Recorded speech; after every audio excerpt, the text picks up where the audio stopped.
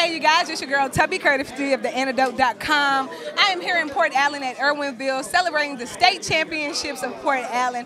I am joined by the wonderful Mr. Kenate Williams. Mr. Kenate's name has been ringing all banquet long. I just want to start off by saying you guys did a wonderful job this year. What did you find your role to be in being successful for your team this year? Um, my role was mostly on defense. You know, I guarded all the best players. Know, um, to hold them under a certain amount of points for the team to win. Right. Um, so I get the job. So we get the job done. Absolutely. Now, coming into your senior year with everything with COVID and having to adjust with the way that we were playing and the way that we were practicing, what advice do you have for the younger players that you're leaving for next year? Um, some advice I want to give to them: just um, keep working hard like we did every day, and you know, just always believe in yourself and believe in each other, and y'all always gonna win.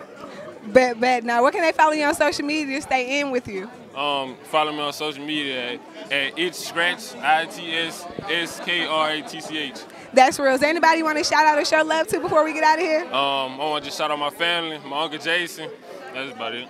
He said that's about it. Congratulations to you, state champions here in Port Allen, getting ready to graduate. Much success to you on your next journey going into your collegiate ventures.